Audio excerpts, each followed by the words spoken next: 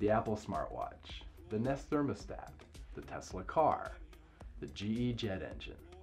What do all these cutting edge products have in common? They're all part of the Internet of Things, and soon every product will be part of the Internet of Things. My name is Bruce Sinclair. I'm the author of IoT Inc., how your company can use the Internet of Things to win in the outcome-based economy. The Internet of Things, or IoT, is a merging of the physical with the digital in order to put the power of the Internet inside products. And the Internet of Things is inside all product categories today, from wearables and consumer goods to commercial equipment to industrial machinery and infrastructure such as brick and mortar bookstores, for example, or even entire smart cities. By 2020, it's estimated there will be $1.5 trillion spent on IoT products. This is not only going to change the way we live, but it's also going to change the way we conduct business.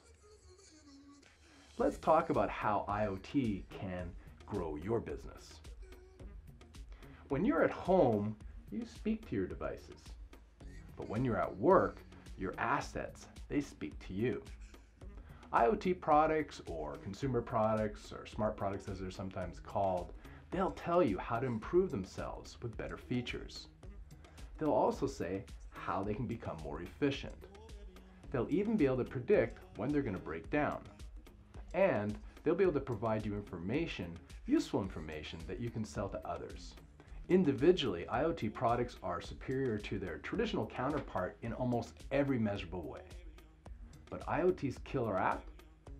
Its outcomes. The Internet of Things is able to orchestrate multiple products together to deliver the outcomes that your customer wants. Now let's face it, your customer doesn't necessarily want to own your product.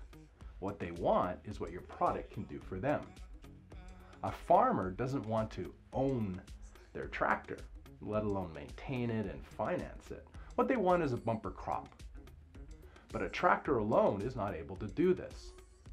So John Deere, for example, is using the Internet of Things to connect their tractors to other farming equipment, to irrigation systems, to seed management systems, and data from the Internet on the environmental conditions. Together, they bring together all these products to yield a higher yielding crop at a lower cost. And they sell this not as a product, but as a percentage of the profit.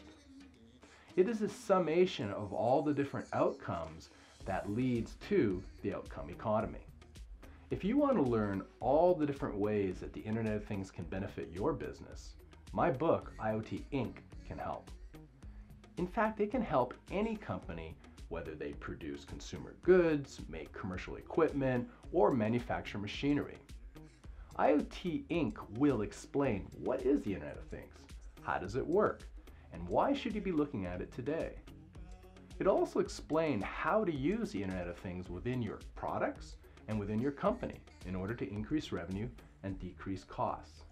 It'll explain what is the outcome economy, how do you participate in it, and how can your company thrive? IoT Inc. comes from my experience not only as the CEO of a IoT company, but also working in the trenches with all types of different companies to leverage the Internet of Things in their business. It also comes from my over 100 interviews for my podcast and my videos of IoT thought leaders that can be found on IoTinc.com. After reading IoT Inc., you'll be prepared to develop your company's IoT strategy, and write its business plan. Pick up your copy of IoT Inc. anywhere books are sold.